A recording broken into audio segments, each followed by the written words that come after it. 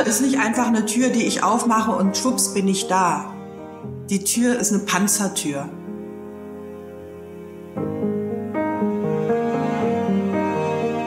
Das ist eine Tür, wo ich mich erstmal in den Zustand bewegen muss, um sie öffnen zu können.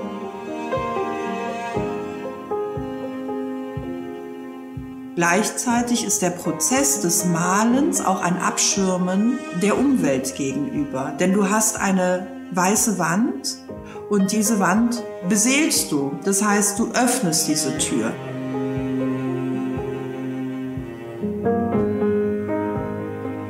Ich bin Miriam Flaming. Ich male.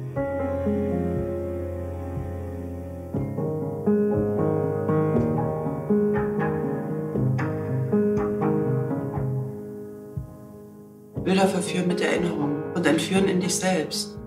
Kunstwerke öffnen Türen des Verständnisses. Zunächst einmal meiner selbst.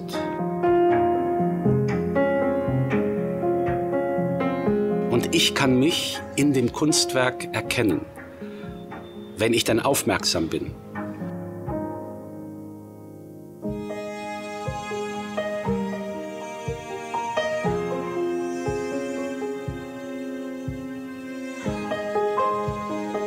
Miriams Gemälde möchten zu uns sprechen. Das gelingt aber nur, wenn wir hinschauen, wenn wir die innere Bereitschaft einnehmen, durch die Tür zu schreiten, die uns Miriam mit ihren Bildern eröffnet.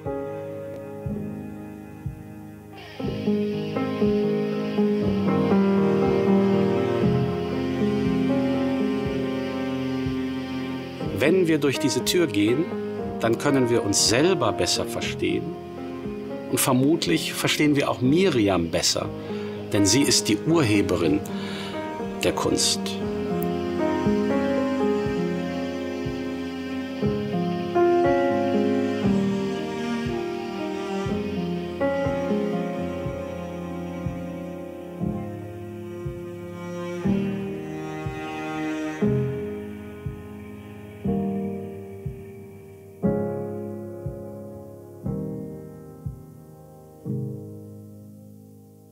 Finde es sehr spannend, dass es so ähnlich wie bei meinen niederländischen Künstlern des 17. Jahrhunderts, wenn dann eigentlich nur in Leipzig ein solches Schulverhältnis gibt. Die erste Generation äh, namens Tübke, dann die zweite Generation Arno Ring, den ich persönlich erleben durfte, dann die dritte Generation Neo Rauch und jetzt eben Miriam in der vierten Generation, die ja sowohl bei Neo Rauch als auch bei Arno Rink als Meisterschülerin gearbeitet hat? Es gab keinen Zweifel, dass ich zu Arno Rink wollte. Die Grundlage der Leipziger Schule, dieser akademischen Grundstruktur der Figur, äh, hat mir extrem zugesagt. Ich bin damals nach Leipzig gezogen, weil ich mich in Düsseldorf wirklich gelangweilt habe. Abgesehen davon, dass ich ja in Düsseldorf auch nicht an die Akademie kam, weil man mich nicht genommen hatte, war ich dann sehr froh, dass ich eben raus bin und äh, an diesen Ort gekommen bin, den ich vorher nicht kannte, wo ich keine Erinnerung mit verknüpfte, wo ich mich selber komplett neu erfinden konnte, in einer Stadt, wo alle Türen auf waren, wo alles auf dem Tisch lag und neu verhandelt wurde wie man lebt, warum, mit wem, was man machen will. Es, es gab nicht diese festen Strukturen, wie das eben in Westdeutschland und gerade in Düsseldorf war, wo jeder Stein zehnmal umgedreht wurde. Und auch die Vorstellung, was ein Künstler ist, komplett klar war. Ja, eine ganz klare Schublade von hier bis hier und da passte rein oder nicht.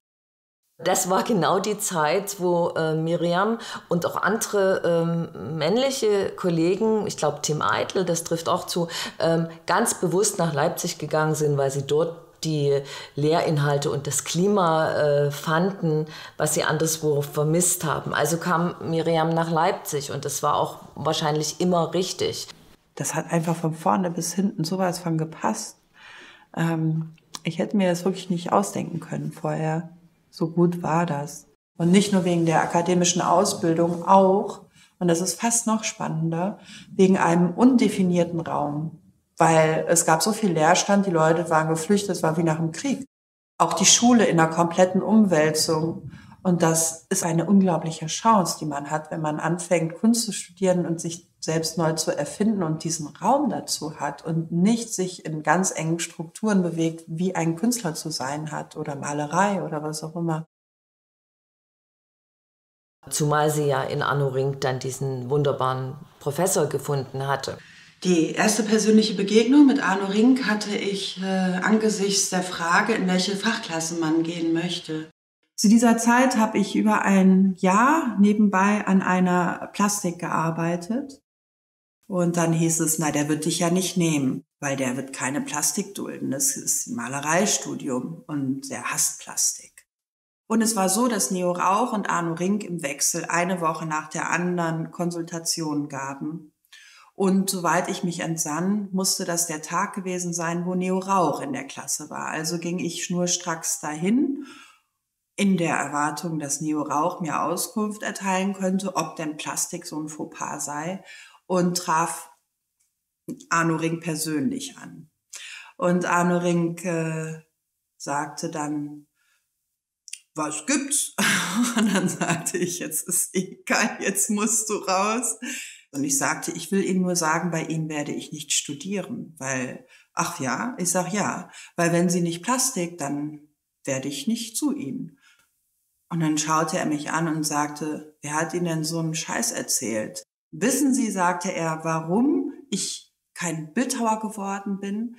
Die Plastik ist meine erste Leidenschaft. Nur weil ich so ein lausiger Bildhauer bin, bin ich Maler geworden. Und dann war für mich natürlich klar, das ist mein Lehrer.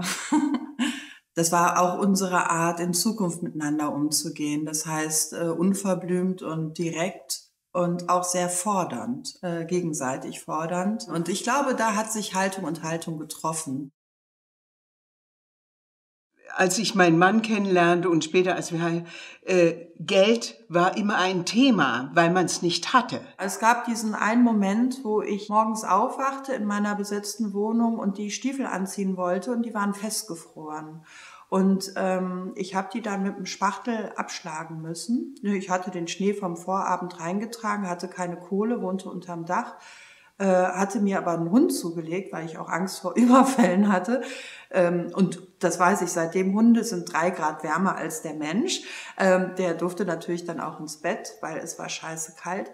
Und ähm, als einfach auch der Kühlschrank leer war. Also als ich dann bei Kaisers äh, aus der Obsttheke die Banane vor Ort aß, äh, damit ich einfach was zu essen hatte. Also das waren so mehrere Momente, wo ich dachte, ich habe nichts mehr, ich weiß nicht, wie ich morgen was ich essen soll, ich habe gar nichts. Aber eins war immer klar. Er hätte nie dafür die Kunst aufgegeben, um mehr zu verdienen. Er hat immer gesagt, äh, dass man auch einen gewissen Fanatismus mitbringen muss, um Kunst machen zu können, ja. Und das hat er auch von den anderen verlangt und in dem Fall speziell eben auch von Mirjam. Und ich hatte auch das große Glück, dass ich immer vereinzelt Menschen hatte, die das auch damals schon gesehen haben. Ich hatte die Chance, äh, eine große Sammlung aufzubauen und ich habe Mirjam schon relativ zeitig für diese Sammlung kaufen können, ja. Mirjam hat einen so wunderschönen Satz jetzt mal gesagt. Sagt sie, ach, weißt du, du hast uns eigentlich früher den Arsch gerettet, weil sie kein Geld hatten. Es war wichtig einfach. Für die Zeit vor allen Dingen war es wichtig, ja. Arno Ring beginnt bereits in den 70er Jahren, sich mit dem Thema des Schutzmotivs auseinanderzusetzen. Und dann gibt es also eine äh, Werkphase von ihm, das sind so Selbstporträts, also im, äh, im Atelier. Und da beginnt er auch den, die, die Konturlinien aufzulösen. Der Gegenstandsbezug von den Dingen, die er malt, ist kaum mehr relevant. Äh, und äh, vieles ordnet sich also einfach dem Willen der Komposition unter. Und das sind dann Dinge, wo ich meine, dass er sich sehr, sehr wohl auch mit dem Werk von Miriam Flaming trifft.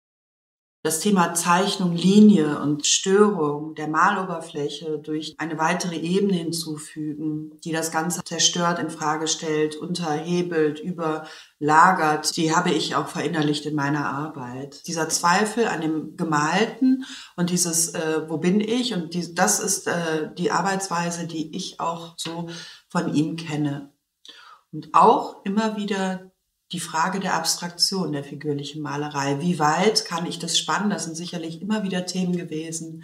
Auch ähm, in seinen Arbeiten, äh, in Landschaftsbildern, die er 2008, 2009 gemalt hat, äh, die wir zusammen in der Halle am Wasser auch gezeigt haben in einer Doppelausstellung, wo wir uns immer wieder über die Frage unterhalten haben, wie äh, weit kann eine Figur reduziert werden in einer Landschaft wie weit kann ich Inseln der Abstraktion mir erlauben, ohne die Figur zu verlieren und ein stimmiges Bild zu schaffen. Da kommen dann also Elemente dazu, weil auch Miriam Flaming versucht das auch, auch wenn sie intensiv auch sich mit dem Raum auseinandersetzt, aber sie versucht auch den Raum also aufzulösen, auch den Kontur manches Mal aufzulösen.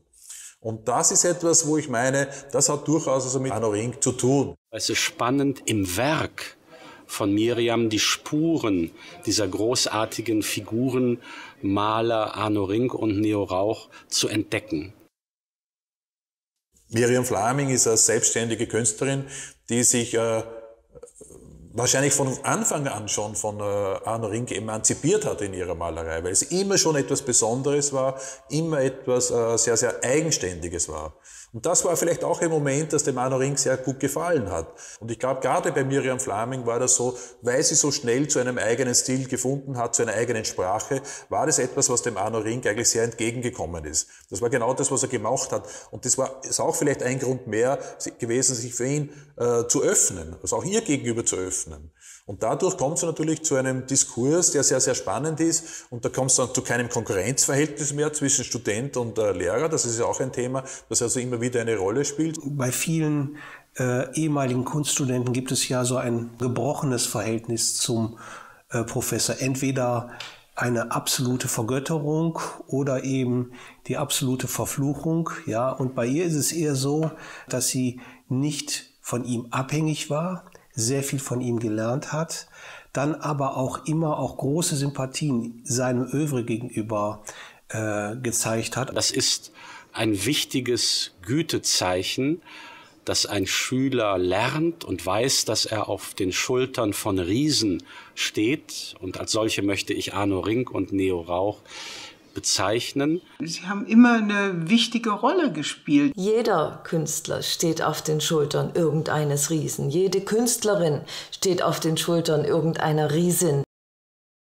Arno hat auch immer gesagt, nicht denken, malen. Es bringt nichts, eine Ausstellung zehn Jahre vorher zu planen. Malen, den Arsch abarbeiten und dann einfach gute Bilder, die sich durchsetzen. Und Punkt. Sie hat das äh, was mein Mann verinnerlichte mit seiner Lehre und mit seiner Haltung zur Kunst, das hat sie begriffen, ja. Und äh, ich glaube, sie ist, deshalb war sie auch so äh, eine wichtige Schülerin für ihn und und er für sie ein wichtiger Lehrer, ja.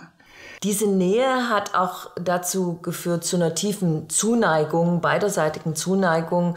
Und ich erinnere mich, äh, vor einigen Jahren war in Berlin eine Doppelausstellung, Arno Rink und Miriam Flaming. Und das war ähm, für, für Miriam Flaming ein großer Höhepunkt auch der Bestätigung, aber auf der anderen Seite war es auch eine Würdigung äh, für ihren Lehrer, denn man muss wissen, dass Rink ja gerade in diesen Jahren des Hypes um die neue Leipziger Figuration, dass er da doch im Hintergrund stand und äh, eher als Lehrer im Vordergrund und weniger als eigenständiger Künstler. Eine junge, selbstbewusste Malerin verweist auf ihren Lehrer. Eine ganz fantastische Geschichte, fand ich, war das auch. Und insofern war das, glaube ich, für beide eine wunderbare Konstellation, da aneinander äh, zu geraten im besten Sinne. Was er immer gesagt hat und was ich komplett auch verinnerlicht habe, ist, der Anspruch Form ist Inhalt. Es geht immer um Haltung. Es geht immer um Formen, es geht immer um Haltung. Äh, und du kannst ja nicht sagen, also das ist die Malerei und das ist das wahre Leben oder so. Das kann man ja nicht grenzen. Das ist ja ein und dasselbe. Und wenn man sagt, Form ist Inhalt, dann überträgt es natürlich sich auch eins zu eins auf äh, ein authentisches Leben. Wenn ich dann äh, anfing, meine Bilder zu erklären mit der Geschichte und den Gründen und so, hat er auch sehr gerne gesagt, Miriam, halten Sie einfach mal den Mund. Das interessiert mich nicht. Ja, Sie wollen auch kein Buch schreiben. Ne? Das Bild muss sich durchsetzen. Stell dir vor, du hast eine Ausstellung, das hängt am Ende von einem 100-Meter-Gang. Warum gucken die Leute denn dein Bild an? Was, was muss das denn machen mit dem Menschen? Das Werkzeug, um diese Aufgabe zu lösen, ist ja individuell. Und das ist der Grund, warum er auch so ein fantastischer Lehrer war. Also ich glaube, Arno Ring war einfach tatsächlich da. Der war für jeden da. Und es war ihm nichts zu blöd.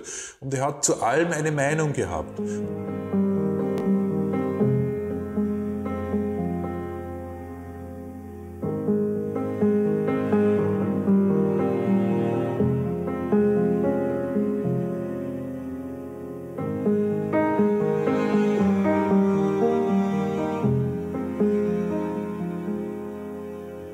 Eine meiner existenziellsten Fragen ist, was bleibt von uns? Und das, was wir meinen, was von uns bleibt, ist auch so zerbrechlich.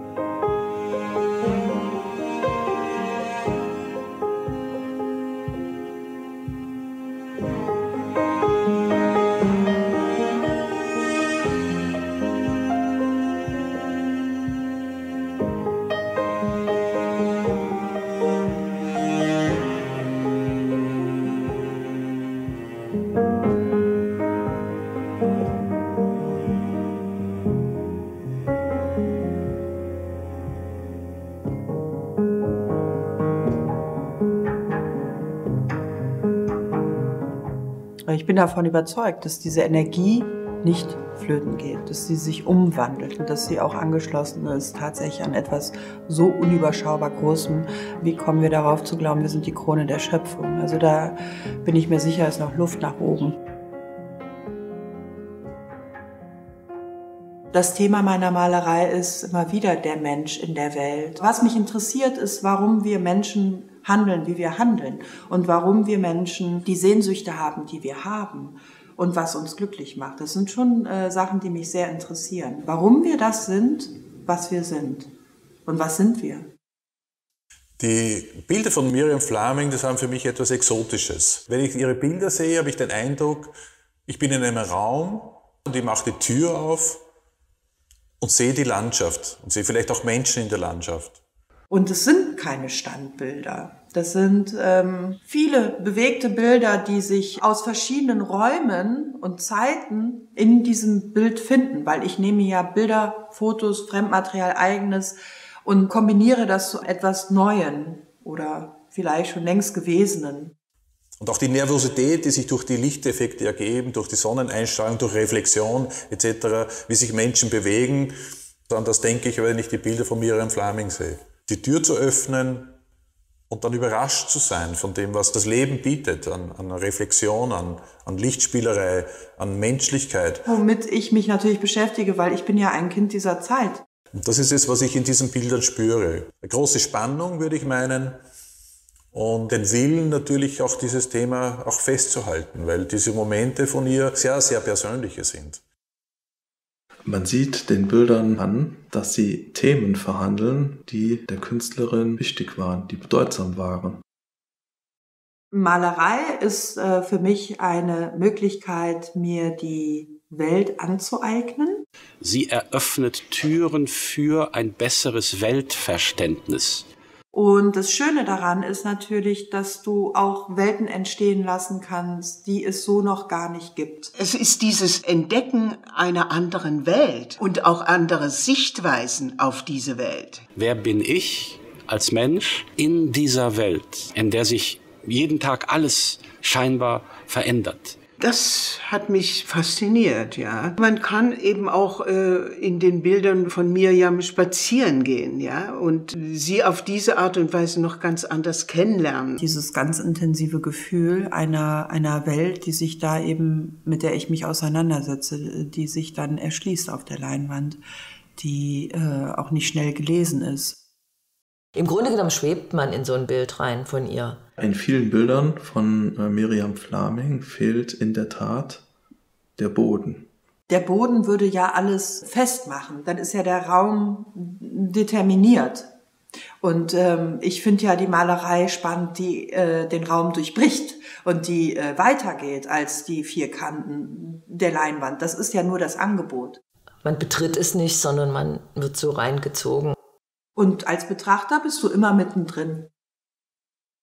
Ja, ich will, dass du den Halt verlierst, weil wir uns zu wichtig nehmen in der Position, zu glauben, wir sind im Hier und Jetzt und wir wissen, wie die Realität aussieht es hat schon ein bisschen, bisschen was Unirdisches, logischerweise, weil es ja auch oft diese, ähm, diese surrealen Stimmungen, Kraft der Farbe und der Lichtpunkte und so weiter aufweist. Oft arbeite ich tatsächlich mit äh, fotografischen Vorlagen von Porträts, die ich aber im malerischen Prozess wieder in Frage stelle oder verallgemeine. Ich lasse mich gerne von Bildern inspirieren, die mir zufliegen, die ähm, eine Assoziationskette in mir loslösen und die eine gewisse Allgemeingültigkeit haben, auch eine Zeitlosigkeit.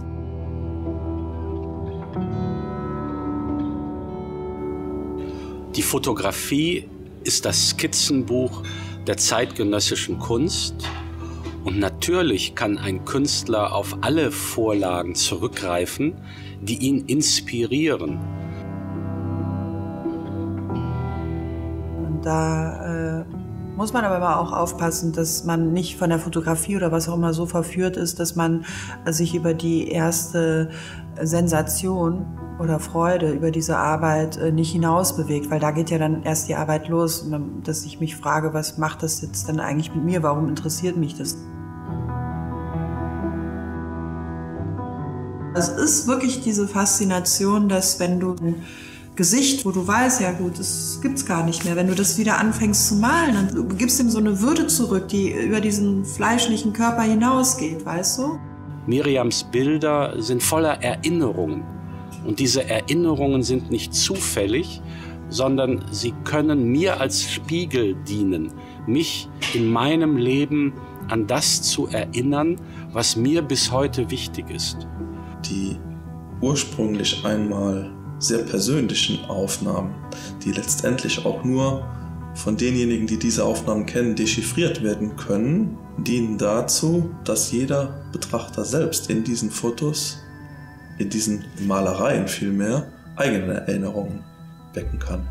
Die Protagonisten in meinen Bildern sind Reflexion für dich selber. Und damit kann man als Betrachter in vielen verschiedenen Rollen reinschlüpfen und auch merken, wie relativ unsere Beurteilung ist. Deswegen arbeite ich auch gerne mit Klischees, mit diesen überzogenen Meinungen. Durch die malerische Verarbeitung äh, haben die Fotos für mich diesen persönlichen Charakter, den sie ursprünglich einmal hatten, etwas verloren. Der Mensch im Allgemeinen ist das, was mich interessiert und nicht das einzelne Individuum dahinter oder eine Lebensgeschichte. Sie würde mich dann interessieren, wenn sie äh, im Hinblick auf eine allgemeingültige Lesbarkeit für mich von Nutzen wäre. Und dann bediene ich mich dieser Porträts und äh, die Gesichter äh, sind aber oft unkenntlich, weil sie natürlich auch eine Projektionsfläche für dich sind. Deinen geschichtlichen Hintergrund, deine Kindheit. Ja. Also es war mir nicht bewusst, dass die eben eigentlich im, im belgisch-holländischen liegt, ja. oder? Der holländische Teil meiner Familie hat sich äh, durch die Seefahrerei, mein Opa war Kapitän, mein Vater war Seefahrer, also äh, der Klassiker, die haben sich natürlich die Welt durch das Bereisen schon angeeignet. Damit bin ich auch aufgewachsen mit fremden Masken im Wohnzimmer aus Übersee etc. Mein Opa, der ja doch sehr vertraut war mit dem Meer, er sagte immer, das Wasser ist eine Gewalt, davor muss man sich sehr in Acht nehmen. Wasser ist etwas, ähm, was einen Betrachter, denke ich, nochmal immer sehr in den Bann zieht von seiner Schönheit dieses Wassers und seiner Oberfläche, aber gleichzeitig auch die Gefahr, die davon ausgeht. Und wenn wir als Kinder ins Wasser im Atlantik reinstiegen, sagte er immer, geh nicht so weit. Miriam, das Wasser ist überall das Gleiche. Du musst da nicht so weit raus. Und das ist etwas, was ich äh, verinnerlicht habe. Und das Fremde ist nicht so fremd. Das ist auch in uns. Es, es gibt kein Fremd sein eigentlich in dieser Welt. Ich glaube, ich bringe ganz viel meiner eigenen Person in diese Bilder mit hinein. Also wenn ich mir einen, einen stillen See anschaue von Miriam Flaming, auf der ein, dem ein Boot fährt, mit Personen da drin, dann sehe ich mich selber unter Umständen in diesem Boot fahren und frage, ähm, wo geht's hin, was passiert? Antworten finde ich langweilig, weil der gibt's ja auch gar keine. Also das ist, liegt ja äh, im Betrachter selber. Fragestellungen an das Menschsein und die Protagonisten ihrer Werke. Was ist das, was Mirjam Flamig dem Betrachter mitgeben will? Du siehst ja nur das, was du bist. Das heißt, dass, äh, es gibt da keine allgemeine Antwort. Aber womit ich mich gerne beschäftige, ist mit äh, zeitlosen Referenzen, um eine Lesbarkeit zu ermöglichen. Da fängt die Auseinandersetzung an. Und das ist eben was, was, ja, was beachtlich ist und was man äh, wirklich nicht bei jedem zeitgenössischen Künstler wiederfindet. Ja. Für mich sind Miriam Flamings Arbeiten gekennzeichnet durch Antagonismen. Gegenständlichkeit versus Abstraktion. Starke Farbigkeit versus Monochromie. Als Antagonismus einer bedrohlichen Natur oder als eines, eines Garten Eden. Die Inhaltlichkeit ist ja dann, wenn, wenn man so will, eine individuelle Deutungsebene, nicht? Und wir könnten jetzt ja wahrscheinlich mehrere Leute vor das Bild stellen und jeder würde eine ja, klar, eine dritte, Geschichte erzählen, Geschichte. ja. Und äh, das ist ja auch so, sagen wir mal, das, das Tolle an ihren Arbeiten, dass sie so eine Mehrdeutbarkeit zulassen. Und das können nur wenige Künstler. Karl Bormann sagt, die perfekte Zeichnung ist eigentlich das weiße Blatt. Da ist dem Betrachter die größtmögliche Portion an Freiheit gegeben, mit diesem Bild was anzufangen. Alle Bleistiftstriche oder was immer da drauf ist, sind im Grunde genommen irgendwo auch Einengungen. Ja? Bis hin zu Bildern, wo wirklich äh, dem Betrachter überhaupt kein Interpretationsspielraum mehr verbleibt, weil alles vorgegeben ist, ja. Und bei Mirjam ist es so auf dem Mittelweg, ja. Also sie öffnet einen Zugang, sie macht die Tür auf, aber sie nimmt die Leute nicht zu sehr an die Hand und will sie nicht zielsicher auf ein ganz bestimmtes Ergebnis hinführen.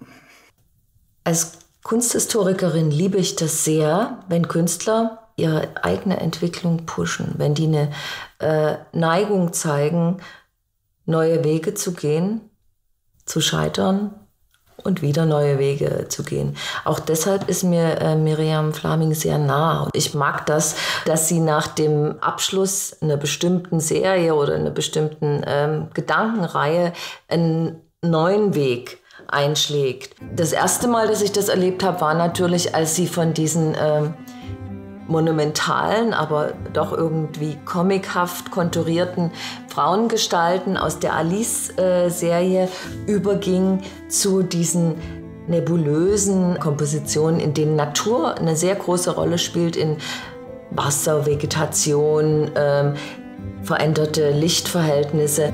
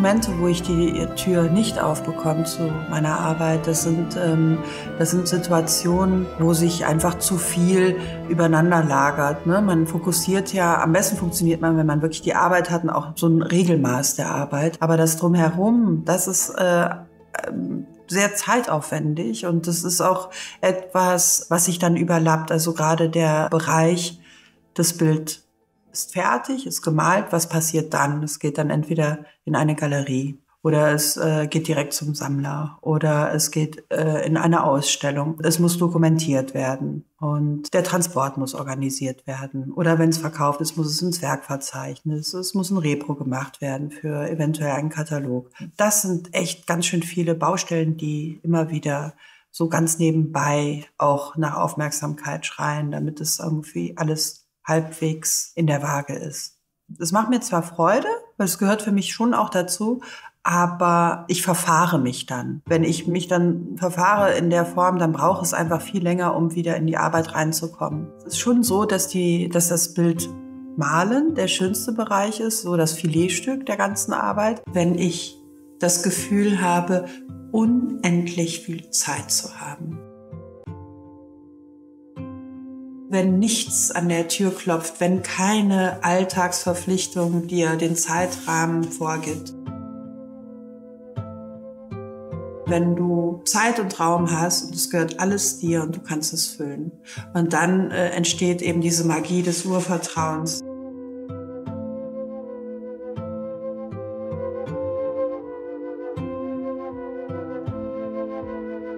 Du hast eine weiße Wand und diese Wand beseelst du. Das heißt, du öffnest diese Tür.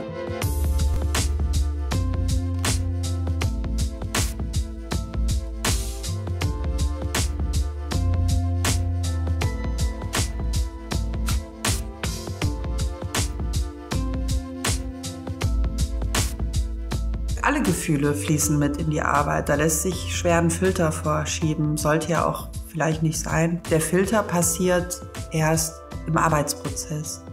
Dass ich dann verifiziere, was ich da eigentlich mache und reflektiere und äh, auch sehe, in welchem Zustand ich mich eventuell gerade bewege äh, von der Imagination und dann ähm, nochmal eingreife oder dem halt mehr auf die Spur gehe ganz reflektierter, differenzierter und bewusster Umgang mit Maltechniken, mit Geschichte der Malerei, mit allem möglichen Gepäck, das in dieser Kunstform aufscheint.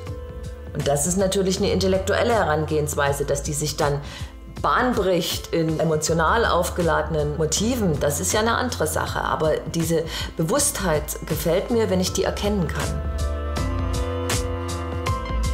Und das passiert ja auch durch den Arbeitsprozess, dass ich die Bilder ja auf den Kopf stelle und dadurch, selbst wenn ich was darstelle, es immer abstrakt auch behandle. Ich habe den Kopfstand nie wirklich gekonnt, aber die Welt aus einer anderen Perspektive sehen und darüber lachen, worüber andere weinen, das war mir schon als Kind sehr nahe. Perspektiven brechen scheint mir etwas zu sein, was Miriam ständig versucht, in ihren Bildern zum Ausdruck zu bringen.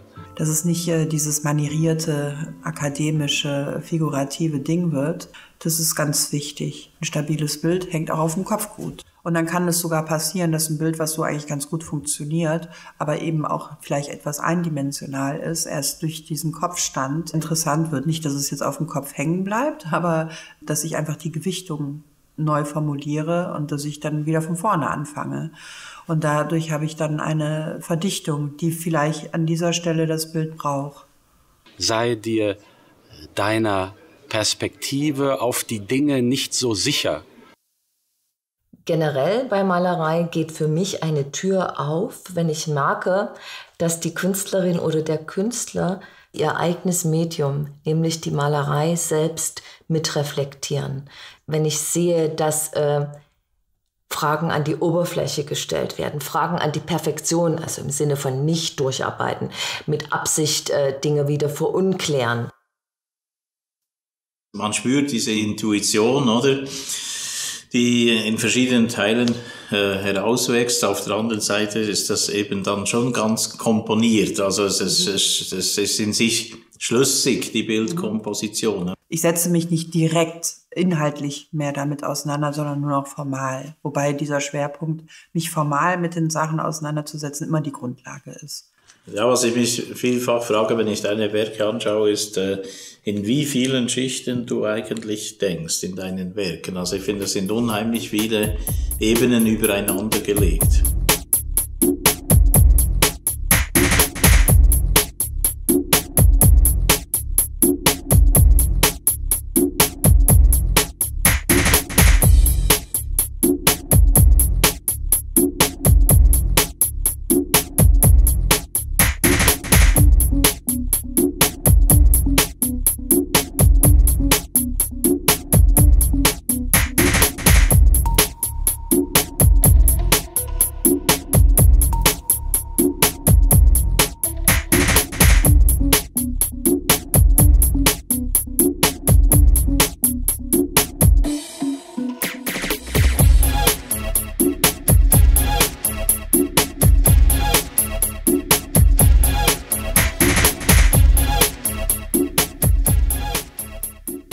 Dann die Technik der Eye-Temperatur. Ein ganz eigenwilliges Medium, um Öl- und Farbpigmente zu binden, gerade auch in dieser Flüchtigkeit, die dann die Eye-Tempera erhält, wenn sie sie abwäscht und überarbeitet, einzigartig.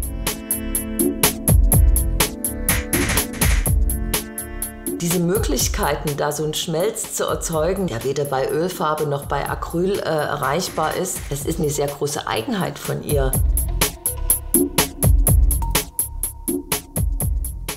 Es gibt Bilder, die gehen nicht weiter, diese Sackgassen. Aber sie sind dann keine Sackgassen, weil ich ja anfange, auf dieser Maloberfläche nach einer Pause wieder reinzugehen und es zu behandeln wie eine nackte Leinwand.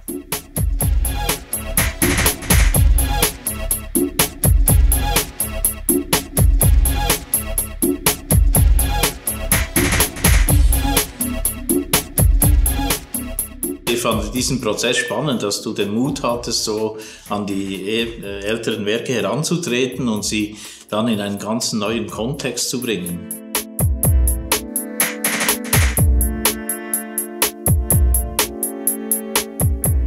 Ich glaube, dass Scheitern als äh, Strategie fast so eine mephistophelische Größe im Schaffen von Miriam ist. Das Scheitern ist der Arbeitsprozess, also das muss halt nur weitergehen. weil sie zerstört ja in der Produktion eines einzelnen Bildes, zerstört sie das ja immer wieder.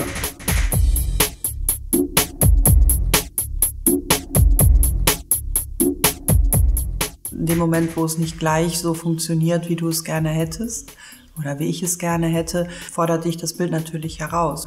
In dem Zwiegespräch mit der Leinwand, dann eben im längeren Arbeitsprozess, das zu erwirken, was dahin gehört. Für Miriam Flaming ist die Leinwand, wenn da Figuren, Gestalten, Gegenstände, eine Komposition erscheinen, noch lange nicht das Nonplusultra oder fertig. Ganz im Gegenteil, sie sieht verschiedene Stadien, die prozesshaft oder organisch ineinander übergehen, bis sie entscheidet, dass bleibt so. Das ist eine innere Gewissheit in dem Moment.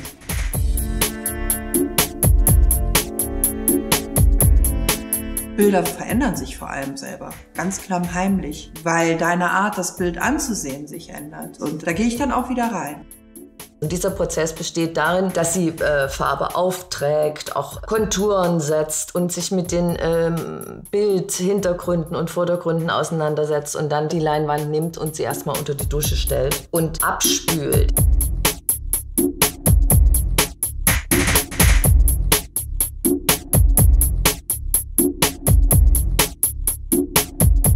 Man sieht natürlich dieses Wässrige, dieses Fließende und dieses Transparente, was sie den Motiven verordnet.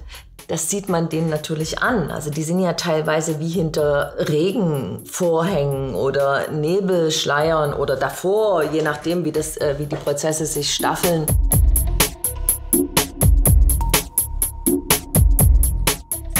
Dann doch manches Mal auch bei ihr schon die Hinwendung zu einem klaren Kontur, weil sie damit also ganz klar etwas herausstreichen möchte, also eine Figur, also eine Gegenständigkeit.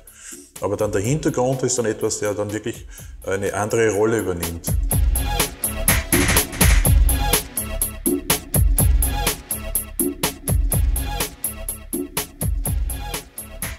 Die eine Hälfte ist, da bin ich einfach Mutter abends. Das heißt, man liest eine Geschichte vor und dann bin ich in dieser Kindergeschichte oder ich bin dann einfach auch bei ihr das sind dann so Zyklen, wo du dann halt irgendwie lieber die Nacht nimmst. Dann funktioniere ich völlig anders. Ne? Also dann habe ich dieses Open End, dieses Fabulieren, dieses bei mir sein und dann sind das natürlich größte Glücksmomente, weil äh, dann hast du keine Unterbrechung und dann ähm, passieren gute Sachen. Wenn du aufwachst und noch mit nackten Augen so ein Bild siehst, dann siehst du sofort ja oder nein.